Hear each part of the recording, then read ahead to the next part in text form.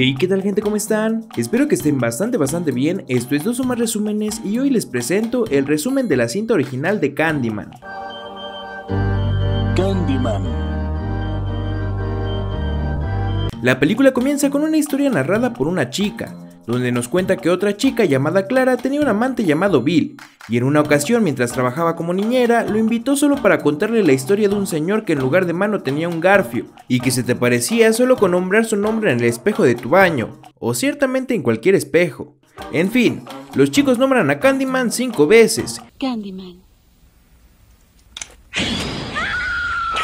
Y la que estaba contando la historia le dice a esta chica llamada Helen que Candyman terminó matando a Clara y a los niños a los que estaba cuidando esa noche. Billy se fue y ya no se supo nada de él. Resulta que Helen ya estaba saliendo de la universidad, y como casi todo estudiante que termina la universidad, pues junto con su amiga llamada Bernadette tiene que hacer un trabajo de investigación, Trabajo que poco a poco te irá consumiendo, volviendo loco, hasta el punto en el que te das cuenta de que te estás quedando sin cabello y subiste 20 kilos por estar sentado escribiendo y citando autores y peor aún si tienes un canal de YouTube en donde intentas subir dos videos por semana para satisfacer a tus suscriptores que te apoyan en todo. Perdón, me exalté. El chiste es que ella quería hacer su trabajo sobre leyendas urbanas, ya que Helen quería desmentir esas leyendas para buscarles una realidad lógica. Helen tiene como esposo a este señor llamado Trevor. Trevor es un profesor y llega en una de sus clases solo para reclamarle por dos cosas. En primera por coquetear con sus alumnos y en segunda por darles clases sobre leyendas urbanas cuando ella estaba investigando sobre eso. Después entrevista al personal de servicio y una de ellas le dice que tenía una conocida en un edificio llamado Cabrini y que tiempo atrás una mujer le llamó a la policía para decirle que alguien quería perforar su pared. Como era de esperarse, pues no le creyeron. Y cuando por fin llegaron, la encontraron muerta y todos decían que el asesino fue Candyman. Durante su investigación se da cuenta de que el edificio Cabrini donde murió la chica fue construido por los mismos arquitectos que construyeron el edificio de departamentos donde vive ella, y se da cuenta de que para ahorrar material, pues el espejo se conectaba con el del otro departamento. Así que su teoría es que el asesino o los asesinos encargados de darle nombre a Candyman habrían entrado por ahí. Y para comprobar que Candyman no existe, pues se ponen a decir el nombre de Candyman en el espejo. Bernadette solo lo dice cuatro veces y Helen para comprobar que tiene razón lo dice cinco veces. Candyman. Tú estás pendejo. Pero no pasa nada, así que al siguiente día van al edificio Cabrini, que por cierto, habían dicho que estaba en una de las zonas más peligrosas de la ciudad, solo para comprobar que en realidad existe el conducto del baño. En el camino Bernadette como que se arrepiente, pero Helen habla con ella y termina aceptando. Y sí, llegan al edificio. Aquí se dan cuenta de que hay un buen de grafitis relacionado con el dulce, y también comprueban que existen las mismas conexiones entre departamentos que hay en su edificio. Helen entra y descubre un buen de agujeros entre edificios abandonados, también descubre un graffiti gigante de Candyman y se encuentra una bolsa de dulces, pero que en lugar de tener caramelo tenían piedras con navajas. Esta chica llamada Anne-Marie, que yo pienso que es la familiar de la que los mandó ahí, las corre de ese departamento y después cuando le dicen que están haciendo un trabajo de investigación, las invita a pasar a su casa. Aquí les cuenta más a detalle lo que pasó con la chica que murió, pero solo se queda en eso, que murió a manos de Candyman. Más tarde se van a una cena con Trevor y algunos de sus colegas. Resulta que Trevor y sus amigos son muy aficionados a investigaciones de todo ese tema de leyendas urbanas.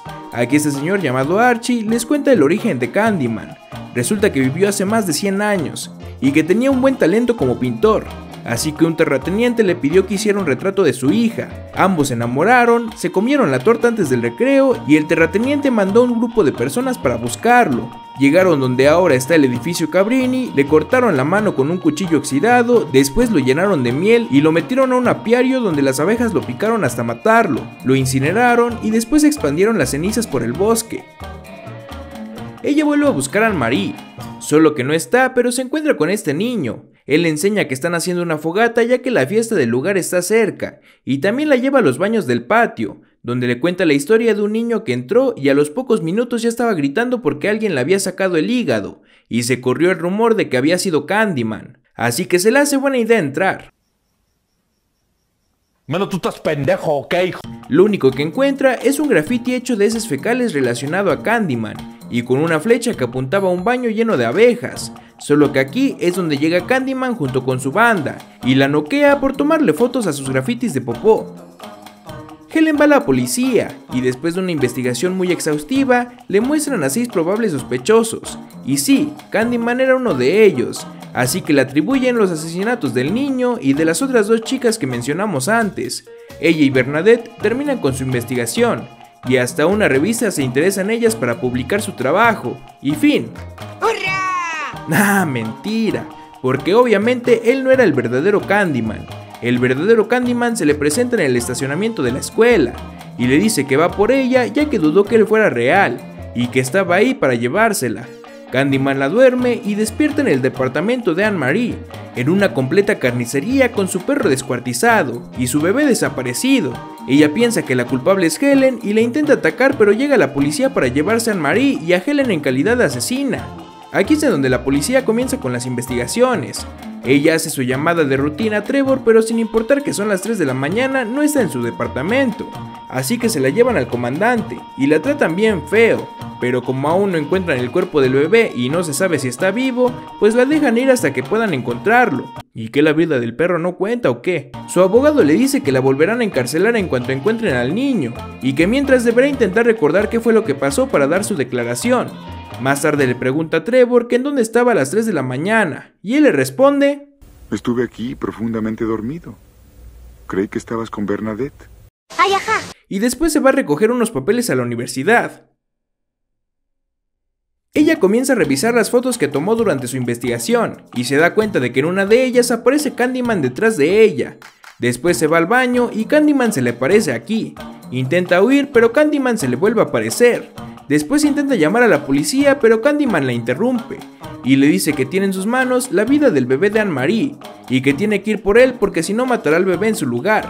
También le dice que gracias a su investigación le dejaron de tener miedo y que si la mata a ella volverán a creer en él. La comienza a torturar y en ese momento llega Bernadette a visitarla. Así que Bernadette termina muerta y después llega Trevor para encontrarla descuartizada y encontrar a Helen delirando con un cuchillo en la mano. Él le llama a la policía, y como ahora sí habían encontrado un cuerpo, pues la arrestan pero se la llevan a un hospital psiquiátrico. Esto para analizarla y saber si estaba bien para llevar un juicio normal. Así que la encierran y esa misma noche se le vuelve a aparecer Candyman y le dice que solo con un beso la llevará a un lugar lejos de ahí. Pues quién sabe, ¿eh? porque yo le doy un beso a mi novia y no la muevo de su silla. Pasan unos días y la manda a llamar al director del hospital y resulta que no ha estado ahí solo unos días, sino que ha estado casi un mes. Solo que le estaban sedando y por eso no llevaba la relación de los días. También le enseña el video de cuando se le aparece Candyman, y como era de esperarse, pues solo se ve ella. Así que ella le dice que para que le crea, lo va a invocar en el espejo, y así podrá ver que Candyman es real. Y sí, Candyman llega, pero llega a matar al director del hospital. No, pues sí vio que era real, ¿verdad? Pero pues después de esto también te van a culpar de su muerte. Candyman la desata y le dice que esa noche irá ella con él y verá un milagro. Esto no lo entendí muy bien, pero si Candyman le dice eso es por algo, ¿no? Él se va y en ese momento llegan los doctores a intentar abrir la puerta, así que Helen huye antes de que vean el desastre que causó, le roba la ropa a una enfermera y sale del hospital como si nada. Lo primero que hace al ser libre es ir a visitar a su amado Trevor, ya que en ese tipo de casos pues lo primero que se necesita es un poco de amor sincero. Pero se topa con la sorpresa de que ya estaban remodelando su departamento, y es porque tiene una nueva pareja a la que no le gustaba la pintura anterior, y se trata de su alumna a la que le coqueteaba al inicio de la película. Así que mejor se va y los deja que sigan disfrutando su vida juntos. Más tarde se da cuenta de que ahora está completamente sola, ya no tiene pareja, ni mejor amiga, si va a la policía no le harán caso, y mejor decide ir a buscar a Candyman, para entregarse a él como se lo pidió. Así que va al edificio Cabrini y sigue los ductos a los que se había metido. Aquí se topa con la sorpresa de que Candyman estaba durmiendo por ahí, así nomás sin preocuparse de la vida. Ella aprovecha que está durmiendo para matarlo con un garfio, pero pues nomás no le hace nada, así que mejor le pide que libera al niño, y él le dice que si se deja llevar por él, al niño no le pasará nada. Y sí, ella acepta y de la nada un chingo de abejas comienzan a salir del cuerpo de Candyman. Él le da un beso a Helen y la duerme. Cuando despierta, despierta toda sacada de onda, y en la pared ve una pintura con un graffiti encima que dice Siempre fuiste tú, Helen. Y la pintura era una pintura de Candyman donde tenía la cabeza de alguien muy parecida a Helen. Aquí mi teoría es que él solo estaba buscando a alguien para amar, y como en el pasado le quitaron a su querida amante, pues ahora estaba buscando a alguien parecida. La chica de la pintura sería su amante original, y como tenía mucho parecido con Helen, pues ahora estaba interesado en ella. Aquí es en donde Helen escucha los llantos del niño, y va a buscarlo llevándose al garfio como protección. Y sí, escucha al niño dentro de la pirámide de basura que estaban haciendo los del barrio para las fiestas. Así que ella entra a buscarlo y justo aquí es en donde el niñito que le contó la historia de los baños ve que un garfio se asoma en la pirámide de basura y alerta a todo el pueblo porque resulta que no era una fogata para las fiestas, sino que era una trampa para que algún día atraparan a Candyman. Aquí llega Candyman y Helen le dice que le mintió. Él le dice que sí, pero porque sus almas están destinadas a estar juntas para siempre, y que después de eso el milagro que él estaba esperando se hará realidad. Ay, el amor. Solo que aquí es en donde Helen ve a Anne-Marie y saca todas sus fuerzas para escapar de Candyman junto al bebé. Candyman se muere en el fuego y Helen logra salir para entregarle el bebé a Anne-Marie. Solo que por las quemaduras, Helen termina muerta, y en su funeral los únicos que están son Trevor junto con sus colegas y su nueva pareja. Aunque aquí es en donde llegan todas las personas que viven en Cabrini, y el niñito mete el garfio de Candyman a la tumba de Helen. Al final de la película, Trevor comienza a extrañar a Helen, así que comienza a llorar en el espejo y a decir su nombre cinco veces. Helen. Así que de la nada, una Helen mala y putrefacta se le aparece. Su pareja va a ver qué está pasando y se lo encuentra todo muerto. Pues bueno, hasta aquí llegó el video del día de hoy. Si te gustó no olvides compartir este video, comentar aquí abajo qué te pareció y dejar tu like. Si haces las tres cosas, estarás concursando para ganarte... Una abeja de las que tenía Candyman en la boca imaginaria. Por último, estos son los saludos de la semana. Y si quieres aparecer aquí, déjamelo saber aquí abajo en los comentarios. Comenzaré a elegir 10 al azar para cada video. Y pues bueno, nos vemos en el siguiente video. Adiós. Sé que parece fácil pero no lo es Quería andar de gira Amor pa' mi familia y salud pa' mi nurse Quizás es una estupidez pero es mi estupidez. Hay veces que me siento al borde.